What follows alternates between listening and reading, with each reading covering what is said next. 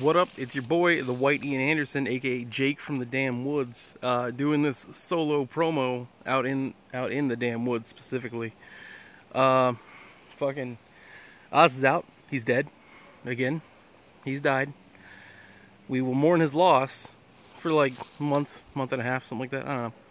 Whatever. Either way, uh, we got a bunch of cool shit this week. We got a bunch of really good music, some fucking obscure hip hop, some real new weird British hip hop we got all kinds of stuff, man. I don't know. It's been a weird week. I got this. I got a British guest host here, right here, this guy. Uh, so that should be interesting. Um, yeah, I don't know. Tune fuck in, I guess. Whatever. Do what you want. I'm not your dad. Maybe I am your dad, but tune in either way. Yeah, blast! I didn't see you there.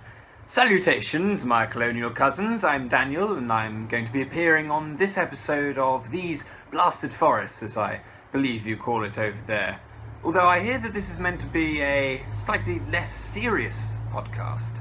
What's up? It's your boy DJP, all the way from Essex, represent in the UK. Today we're going to be having some absolutely crazy ass times talking about black boxes on airplanes, or still that. We're going to be talking about a couple of albums that I like, OMG, as the kids say. We're going to be talking about Mount & Blade, my favorite video game ever. I'm going to be talking about how much of a cool guy that I am.